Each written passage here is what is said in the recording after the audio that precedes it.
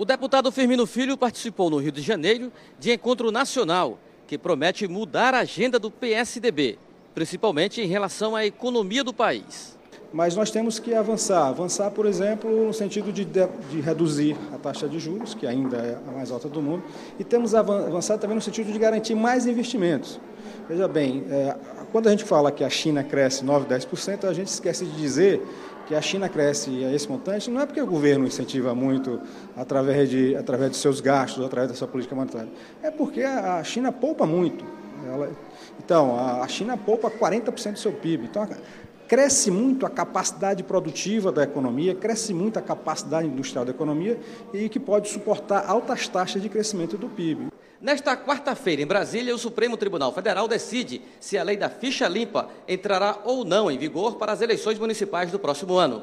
No Piauí, o deputado estadual Firmino Filho é autor de uma emenda à Constituição do Estado que vincula condenações em órgãos colegiados à ocupação de cargos no serviço público do Estado.